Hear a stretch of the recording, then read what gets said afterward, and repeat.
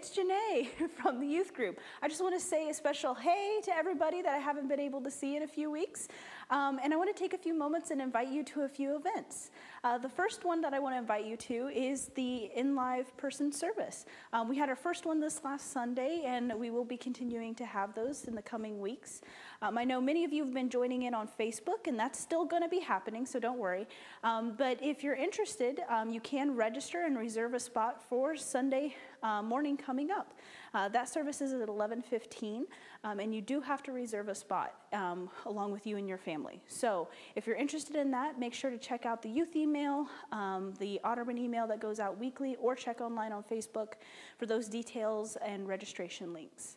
And the second thing I want to invite you to is D Now. D Now means Discipleship Now, and it's an event that the Northwest District is hosting um, here in our area.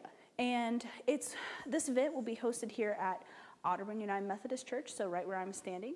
Um, and any youth, sixth grade to 12th grade, is invited to attend this event. I know normally we do seventh grade, but sixth graders, you're welcome to this one actually. And um, I just want to take a few moments and explain what's going to happen. So basically, this whole week um, is going to be from 4 to 8 each evening. We're going to gather, we're going to do some video breakout sessions, we're going to do some small group discussion, and then we're going to close the evening in worship. And actually, this worship service will be streamed in from uh, Monticello United Methodist Church, and people from all over the district will be worshiping with us at the same time and doing this exact same event. And for any attendee that signs up and registers, you will get a free meal that will happen um, during our time together as well. And there is no cost for this event at all for any youth or your family.